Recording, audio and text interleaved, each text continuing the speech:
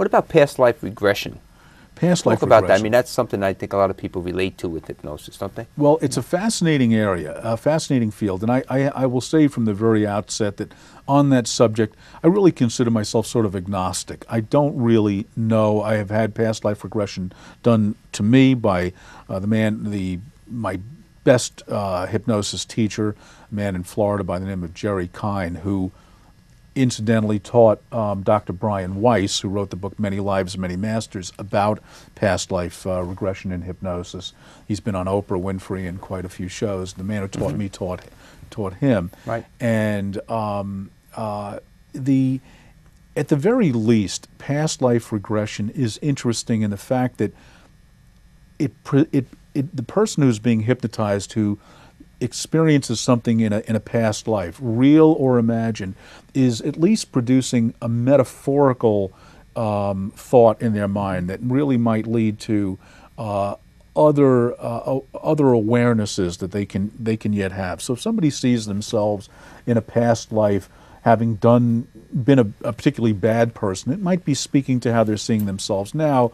And then, you know, if that's the case, then I would probably refer them on to, you know, to a therapist or Sure. somebody to deal with those issues. All right, so you work with other doctors is one of my questions Yeah, also. and doctors come to me. I have Yeah. psychiatrists Yeah. who come to me for hypnosis, many psychologists, um, uh, people of all different pers- persuasions, doctors' children, uh, Yeah. and so on. But and but you'll refer out and you'll get referred to. So you have a network of uh, other disciplines that work with you well. Yes, absolutely. A lot of chiropractic uh, Yep. also. You know, they, Sure. there's a uh, a great connection between you know the the, the physical self and, and physical issues, and also just the you know the ability to relax and the and Mm-hmm. the, the interface between those two things. Are the effects of um, hyp- hypnosis cumulative? Great question. Um, they really are in, Mm-hmm. in a very, very uh, uh, specific way. Um, each time you're hypnotized, you tend to go deeper. Right. Um, you tend to go deeper and you tend to go into hypnosis more quickly. Mm-hmm. Um, you're more comfortable with the experience. You feel, you understand what this feels like, and the mind records the feeling, so it recalls it very quickly.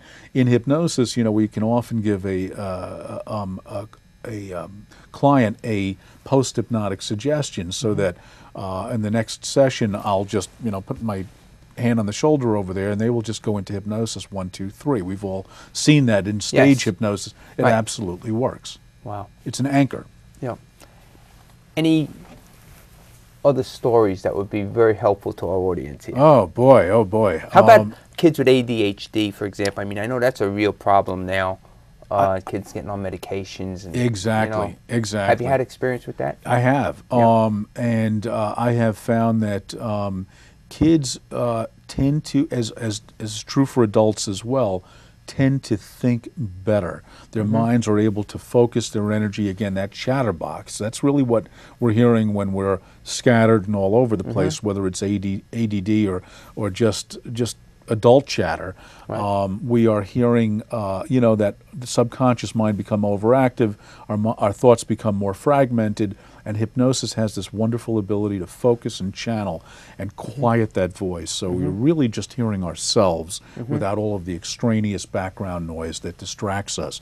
Um, uh, one of the uh, um, uh, technologies that I use is a light and sound machine um, Right. on occasion, which is a, an amazing device that entrains the mind to go into the alpha and theta states, these states of deeper relaxation, very similar to hypnosis. And I have one young man who's come to me, um, one of many, but this one particular one comes to mind, who uh, really did have some attention deficit issues and um, found that he was able to uh, play chess um, all of a sudden. He knew it, he knew the game from his childhood, Sure. but couldn't play the game as a teenager because his mind was all over the place.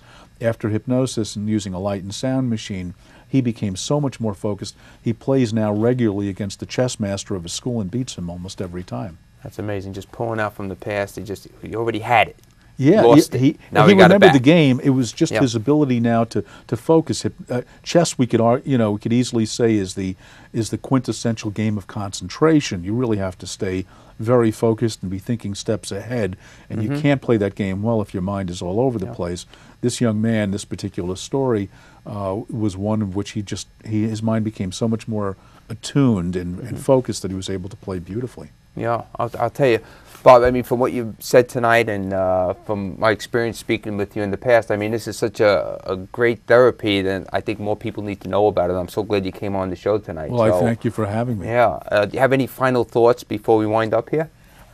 Yeah, I really, uh, I, I believe and and passionately know of the benefits of this modality. It's it's a mm-hmm. natural ability that's always been in every human being. Everybody's hypnotizable. A mm-hmm. very very important fact, and people should experience it because in this day and age, whether it's from anxiety issues from from the economy Right. or wanting to lose weight, quit smoking, hypnosis really should be the first thing that people go to because people tend to use it often as the last resort when in fact they, they'd find remarkable results from it if they go to a good hypnotist right from the get-go. That's terrific.